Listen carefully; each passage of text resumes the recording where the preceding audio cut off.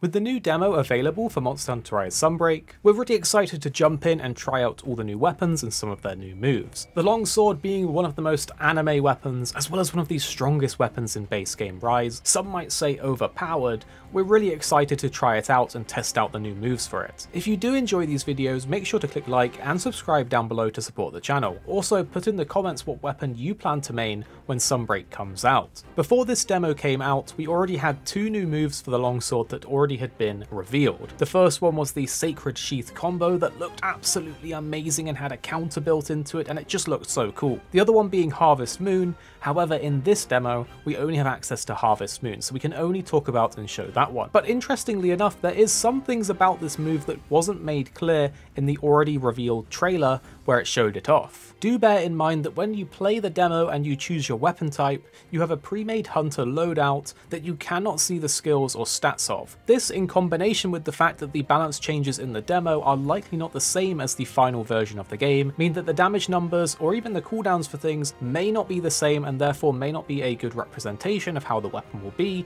in the final release of Sunbreak. So let's talk about Harvest Moon. It's a move that casts out an Iron Silk ring that narrows your range of attack, but boosts your spirit so you can go on the offensive. Within the ring, your spirit gauge won't deplete, and if you perform any counter attacks, it will deal additional hits. The additional hits are actually 3 more ticks to your counter while you're inside the Harvest Moon ability.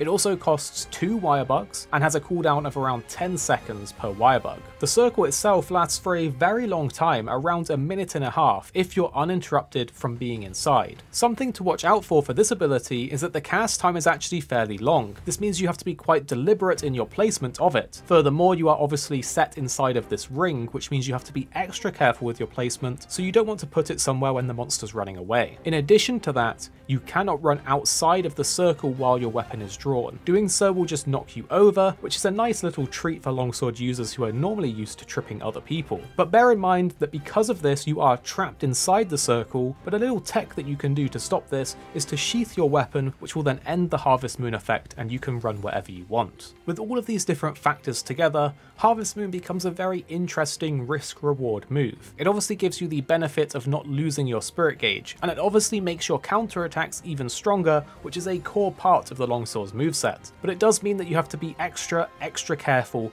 with your positioning, as you cannot leave the ring, and obviously monsters do tend to move around a lot. So if you're someone that really struggles with positioning, this move might not be for you.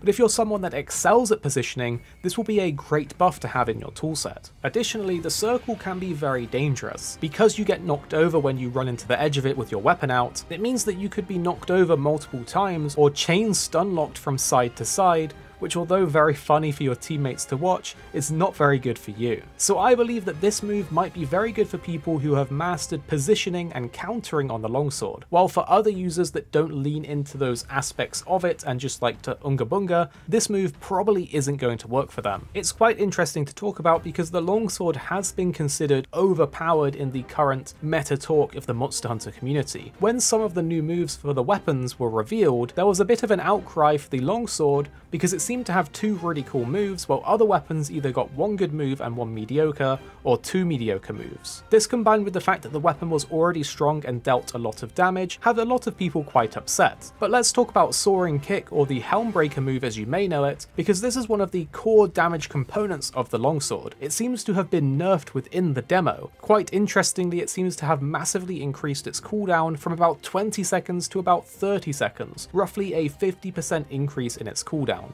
10 seconds overall is quite a big time gap between using your soaring kick. Of course this is the demo and the balance changes might be different in the full game, but it's something to consider. We have weapon previews for the other weapons already on the channel so make sure to go check them out, but for now we'll leave you with some more longsword gameplay so you can get more of a feel for how the weapon is in Sunbreak.